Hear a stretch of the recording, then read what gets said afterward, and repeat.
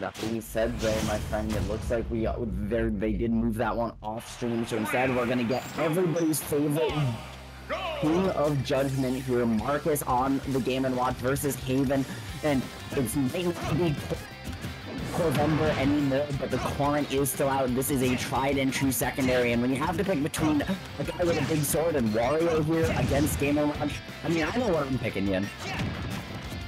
I have no idea, but Corrin has some really good aerials to go ahead and snuff out some of Marcus's initial game plan, so I'm interested to see that. But so far, Marcus has done a really good job of positioning them nice and close, getting these grabs, upbees, whatever they need to go ahead and get some damage racked up on Haven. And look at that, not quite able to find the berry off of the mallets, but that could have been a way to start the game.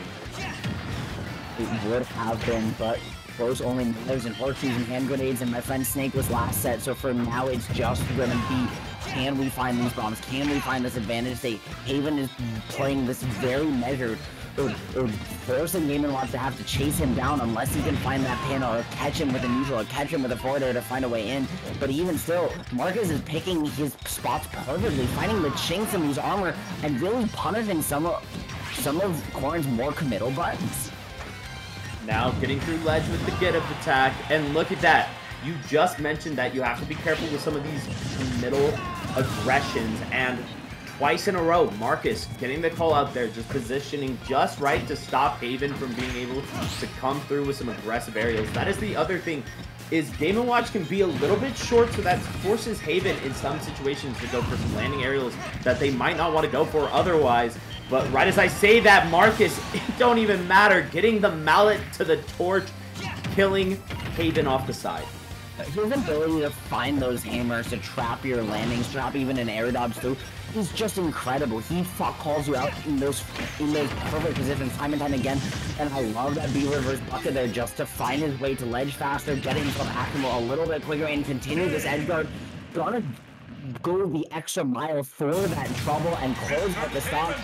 Corrin has many strengths, but even with that back air, er, the recovery not necessarily there, right? It's too linear, it's too committal. You put yourself in lag for so much of your route back to stage that a character like Game & Watch who just has an active hitbox can clean it up and, and not worry too much about the effort they're putting into their day. Marcus played that one excellently and is going to go up 1-0 for his troubles.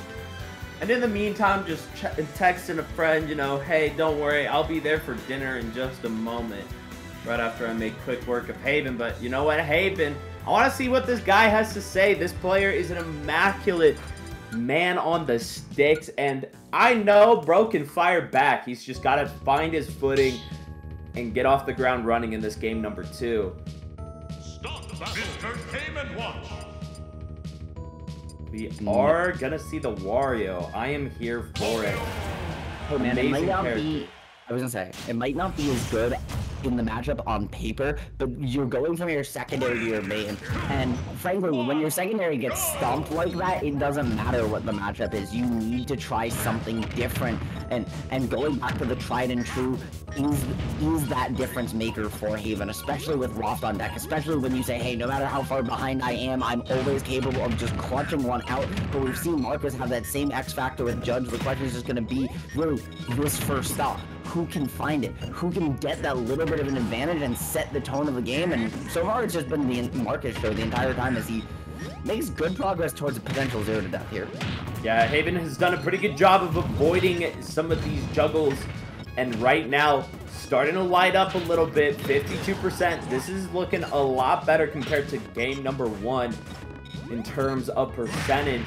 Now finds another Nair. I love how he's just bobbing and weaving underneath Marcus, keeping the pressure rolling. Gets grabbed though, and now it's Marcus's turn. He's just, I like the way Marcus is playing this. He's not looking for the, the, number of judges we normally see from him, right? He's not looking for all the flashy stuff. He's just playing very, very fundamental. fundamentals here, finding these advantages, finding these juggles, and the pressure gonna fall out without the early up special, and clean up the special, down two to close it out. Just crazy awareness there from Marcus to close that stock. Looking so good, but Haven still not out of it yet. 91%. This is the thing with Game & Watch. Bro is very light, so you know Haven could find a kill at any point, but Marcus doing a really good job of avoiding it so far and finds a little bit of percent here with some of those tornadoes and that fishbowl. 44 now for extra credit, looking pretty clean but a back air from Haven to go ahead and reset the situation for them.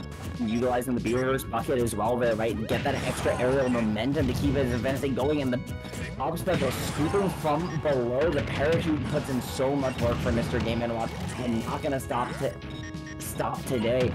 Is just not even land at all here yet. And I have to wonder if the counter back to the same small stage was really different, was really what Haven wanted here. Well, hey, you know what? Haven did find that back air and now does got a shot as they've got the waft on deck. We could be seeing Marcus dropping another stock here in a second. But first, Haven got to get through. And sure enough, one bad parachute is all Haven needed to get on in. And now, trying to find the first starter, but Marcus is doing a really good job of playing safe between the parachutes to constantly keep in the air, the forward airs to try to maintain some distance. But now Haven finds his shot, unable to land the clap to the far, and so not going to be able to take that stock right there. So, not able to close out just yet, but, and with some extra uh, patience, gonna find him because they up to Wasp, gonna make like it's patch 3.0, my friend, and as Haven finds his way back into the lead for a moment, but Gameloft is the ultimate hero character, man, and what better way to play the hero than hit him with the chair?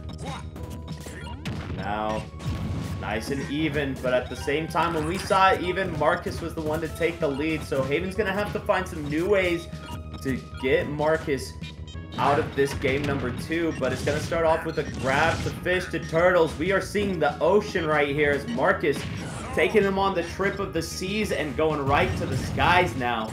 No way out for Haven so far. And watch the positioning Marcus is holding here, right? He's he's playing over platform, under platform, drifting to center stage, and then fading back with his bomb with his bomb to control that center space while still being under the platform to prevent the, these aerial, these falling aerials from coming in at him. It is allowed him to find this grab here, and even though he didn't find the continued advantage state, back up this huge advantage state, but now it's Haven's turn again, and Wario can rack up the damage on these juggles. Haven able, oh sorry, Mark is able to reset here, but if Haven can one more hit, this could spell trouble. And now the tornadoes sending him up, up, and away one hit. This could be all that's on the line here for Marcus. He takes a jab, but so far doing a pretty good job. Right as I say that though, an air dodge gonna get him caught. Living the down air. We saw that kill on the second stock, or set up for a kill, I should say. Living a 170 full rage. This could still be good for Haven if he could just find something here. I love that Knight that recognizing the command and grab pressure is gonna find the space and just Marcus a mixture of being right, those small black stones here on on small battlefield, and also just not quite being ready for it with the DI, gonna allow game to go in Haven's favor. And what we were questioning earlier, Ian, that small battlefield counter pick, it evidently was what Haven needed because he came out on top in that game too. Mark is going to send us right back in game three, showing us that, yeah, he likes it too, but now the onus is going to be on him to find his way to a victory here in game number three. Haven's the one riding the momentum um, in, in terms of games, but it's been Marcus is in the set overall, and it's really just going to be who's going to win, the immovable force or the unstoppable object. Or the, yeah.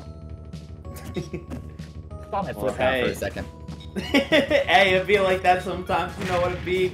Haven, though, taking a little bit of damage. He's the one flubbing for the first little bit, but right as I say that, man, Haven getting grabbed left and right. Marcus has just had a really good read on his shield timing so far. The barbecue gonna go ahead and come through. Haven don't want to take a bite of that. Turtle taking a bite out of Haven. And now Parachute this is looking so good for Marcus as he gets the key to the dunk. And Marcus's positionings here, right off stage, forcing so many early up specials, saying, I don't need to find the kill immediately. I will force you out early or SD, and then I'm just going to clean it up after the fact. Has allowed him to be so much more efficient and clean up some of these stocks earlier than if he just went for that hit initially. You can see his awareness in terms of defensive positioning and, and ambiguity in terms of his offense looks has been immaculate so far yet. Now Haven taking it nice and slow right now. Gets the grab, turning Marcus's game plan on its head, but dash attack to get him right in the corner there. Now Haven looking to push the push a little bit forward, but Marcus is just doing a really good job of playing defensive and walling him out. But finally, drifting a little bit farther forward, Haven is able to find the stop. Yeah, man, getting finding Wario finding his way uh, uh, uh, to the stock, utilizing that occipital lobe, not for eyesight, but for some good old old common skull crack, or good old fashioned skull cracking, sorry, as he now just continues the pressure. Haven looking for the juggler here, but not able to find it. But Marcus, again, it's the positioning, it's the way he's keep landing in, in, in a way to keep ambiguous. Am I to jump to the platform? Am I to run off? Am I, like, hey, I can still go to left because I'm not all the way at the edge of this platform. Or am I to drop this fair? Like, Haven doesn't know because Marcus has never limited him in his, his offense based on his positioning once this set so far. And now Haven with full waft on deck though might be able to find a way through. We saw it in that game number two. Question becomes, where do you what hit do you find? Turtle setting up for a little bit of an edge guard. We're seeing the Cyclones come through once more. Marcus doing a really good job of repositioning and finding the extra hits to extend the advantage state. And now the barbecue on deck. Ah, Haven gonna slip on with those knuckles. And even though it's kill percent now, I really like this game plan so far from Marcus. It's like Game & Watch is a character we're used to seeing juggling vertically for percent and then horizontally only to find the kill. But Marcus has been pushing even in, in horizontally a lot more than vertically in this entire set long because when that is above you, you can use that air drift, right? You can get out of dodge and it's way harder for Game & Watch to pin him down. Or when he's locked in the corner, he still has, he just that airbrush doesn't make as much of a difference against the active disjoints that Game & Watch can draw with Fair and Bair. Now, Haven's been getting a little bit aggressive up close to Marcus. The issue is, when you get aggressive, you get caught up by the trampoline into the parachute. Finds the grab now, though. Haven searching, fiending for a stock, but if Marcus just can hold on to this stock, this could be a clean game, but if he drops it, that's where it gets scary. That's where you might be going to loser's side because at any point, Wario can just blow you to smithereens. Yes, sir, man. We've been chomping that garlic just in case it comes in court looking for the backer. You can see Haven knows that my, his percent climbing, his opportunities to find this stock are starting to close, and gonna do so over the beautiful bait there. Marcus expected summit, the life extension. Instead, he even covered it, and Marcus is just gonna close out the edge guard, clean it up, not even the